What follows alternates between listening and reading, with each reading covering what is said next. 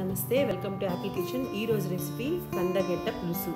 కందగడ్డ పులుసుని ఎలా చేసుకోవాలో చూద్దాం. ముందుగా కందగడ్డ ముక్కల్ని ఉప్పు వేసుకొని కొద్దిగా నీళ్ళు వేసుకొని ఉడికించుకొని పక్కన పెట్టుకోవాలి.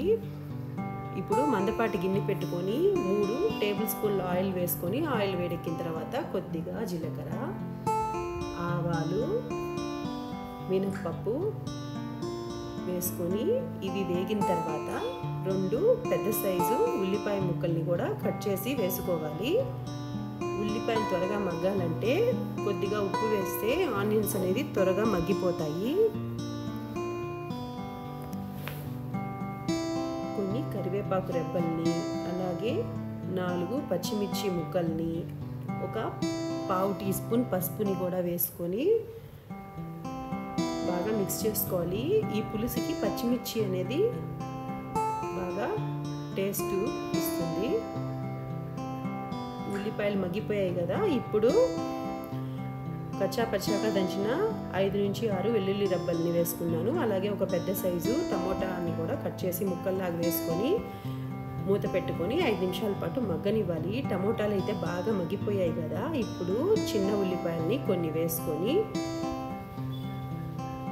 ఒకసారి మిక్స్ చేసుకొని అలాగే ఒక స్పూన్ ధనియాల పొడి రెండు స్పూన్ల కారం కూడా వేసుకొని ఒకసారి బాగా కలుపుకోవాలి. ఒక పెద్ద సైజు నిమ్మకాయ అంత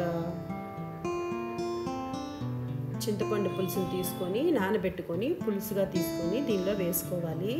అలాగే కొద్దిగా వాటర్ని కూడా యాడ్ చేసుకొని ఒక రెండు నిమిషాల పాటు ఇలానే మరగనివ్వాలి.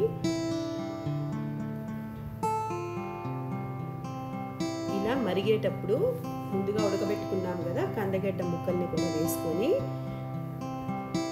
మూత పెట్టుకొని ఐదు నిమిషాల పాటు బాగా ఉడకనివ్వాలి. ఇలా ఉడికిన తర్వాత ఒక టేబుల్ స్పూన్ బెల్లం వేసుకుంటే బెల్లం అనేది ఈ పులుసుకి చాలా మంచి టేస్ట్ని ఇస్తుంది. ఇలాగే మూత పెట్టుకొని ఒక ఐదు నిమిషాలు మీడియం ఫ్లేమ్ పైన కుక్ చేసుకుంటే ఎంతో టేస్టీ టేస్టీ కందగడ్డ పులుసు రెడీ అలాగే కొత్తిమీర తీసుకొని ఒకసారి తిప్పుకున్న తర్వాత మనం సర్వ్ చేసుకుంటే ఎంతో రుచికరమైన కందగడ్డ పులుసు రెడీ. మీరు తప్పకుండా ట్రై చేసి మీకు ఎలా వచ్చిందో నాకు కామెంట్ చేయండి. లైక్ చేయండి షేర్ చేయండి.